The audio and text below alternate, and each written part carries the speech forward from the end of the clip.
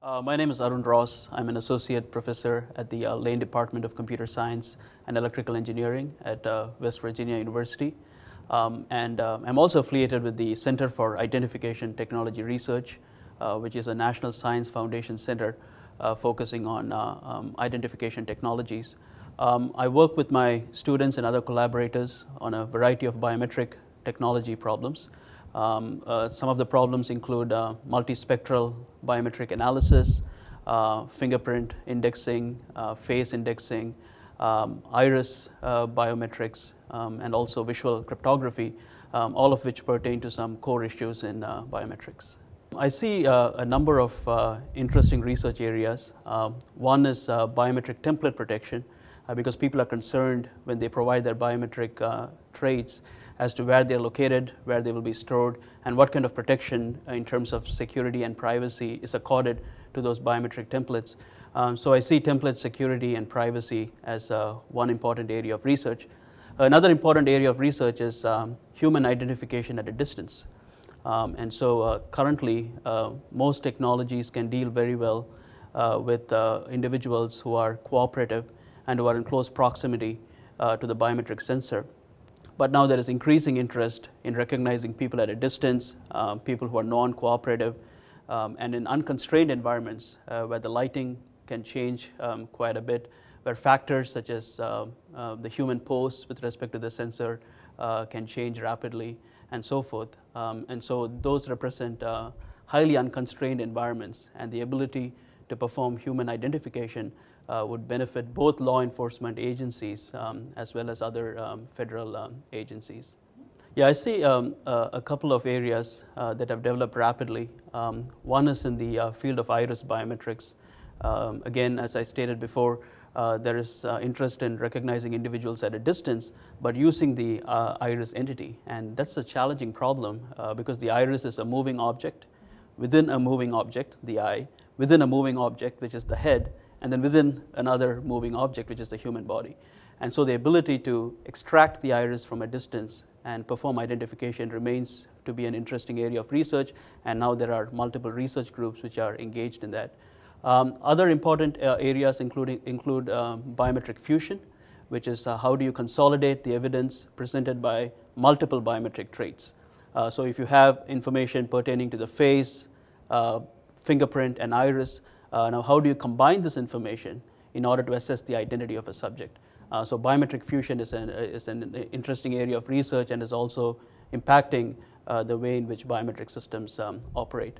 We do have laptops um, already equipped with uh, biometric sensors.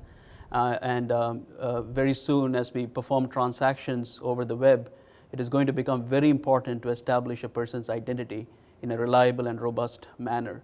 Uh, so remote authentication uh, may be based on uh, face recognition over webcams or voice recognition uh, over voice channels uh, might become uh, important as, as well as more practical in, the, in the years to come.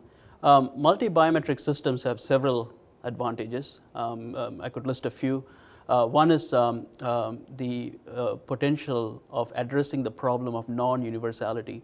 Uh, what I mean by that is, um, let's say you, you are using a fingerprint system, and let's also assume that there is a, a small fraction of the population that cannot provide good quality prints, uh, perhaps due to dry fingers or some other uh, implicit problems with their, with their finger. Um, uh, in such a case, uh, you do not want to exclude those users from accessing the biometric system.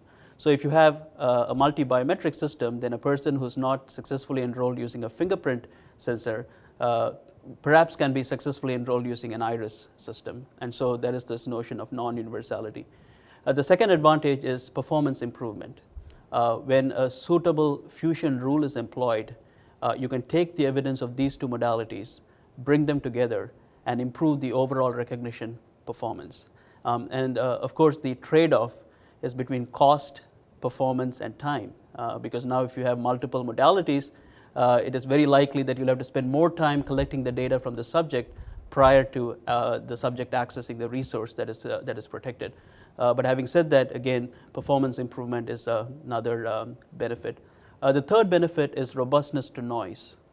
What do I mean by that? Well, consider a subject who is walking through an airport aisle, and uh, let's say there are cameras uh, trained on this aisle, and um, as the subject walks through this, uh, this, this aisle, and you obtain the face image, and let's say also the iris image, you now have two different modalities that can be adaptively used.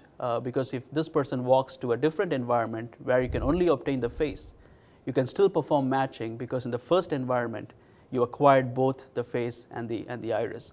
Uh, so here the goal is to acquire as many traits as possible so that depending upon the context, you can invoke one or two or a subset of the available traits. So that's uh, another uh, significant advantage.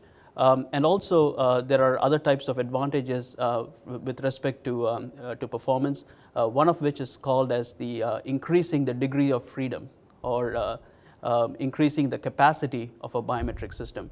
What we mean by that is by incorporating multiple traits, you can accommodate more users in the system in such a way that the overlap between subjects is reduced. And so these are some of the advantages of um, fusion system. At the same time, uh, we have to be mindful of the trade-offs. Uh, again, there is computational requirements which can increase. Uh, there can be the time requirement which can also increase. But again, putting all these things into, uh, into one framework would allow us to benefit from the use of multiple traits.